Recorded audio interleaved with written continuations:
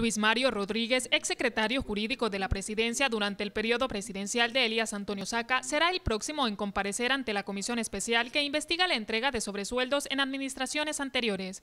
Así lo detalló el presidente de la comisión, el diputado de Nuevas Ideas, Jorge Castro. Se mencionó expresamente que él recibía un sobresueldo de 8 mil dólares, el cual a petición de él fue aumentado a 11 mil dólares, esto aparte de su salario que tenía como secretario jurídico.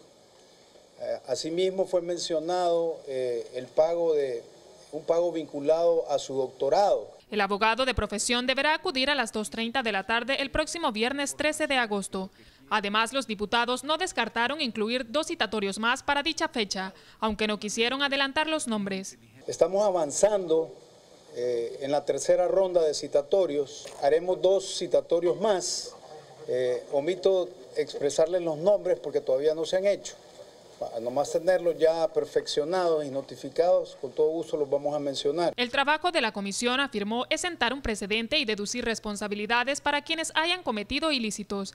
En ese sentido, se ha solicitado la certificación de los recibos que aprobarían la entrega de sobresueldos, con el fin de sustentar las pruebas contra quienes resulten responsables. Porque es necesario que sea un documento probatorio que goce de fe pública y esto va a ser remitido a la Fiscalía, al igual se están analizando eh, los audios y videos de las respuestas dadas por ellos en contraposición con la documentación que tenemos. Para Teleprensa, Canal 33, Maggie González.